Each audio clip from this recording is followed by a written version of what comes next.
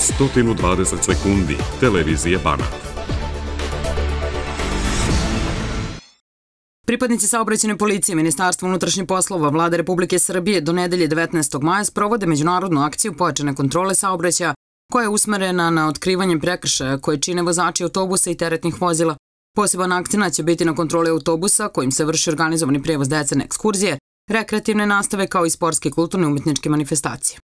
U Novom Kozjeku opštine Alibunar završavaju se radovi u okviru projekta rehabilitacije opštinskih puteva i ulica, koji se finansira iz lokalnog budžeta. U ovom mestu asfaltirana je ulica Svetog Save, nakon čega će se nastaviti radovi na uređenju bankina.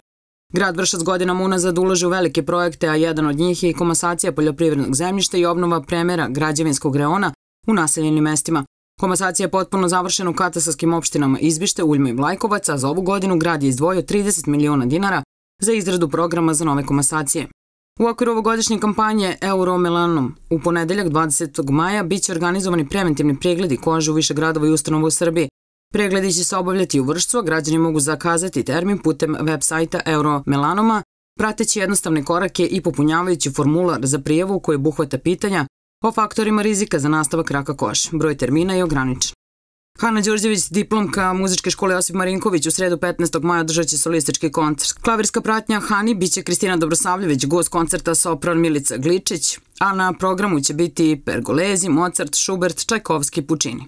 Koncert će se održati u kutku Vaska Pope u Narodnom pozorištu Sterija sa početkom 18 časova.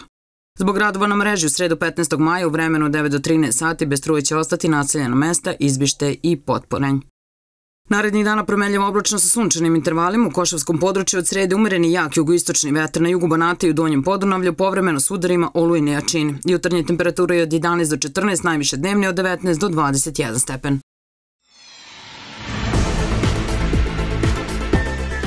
120 sekundi televizije Banat.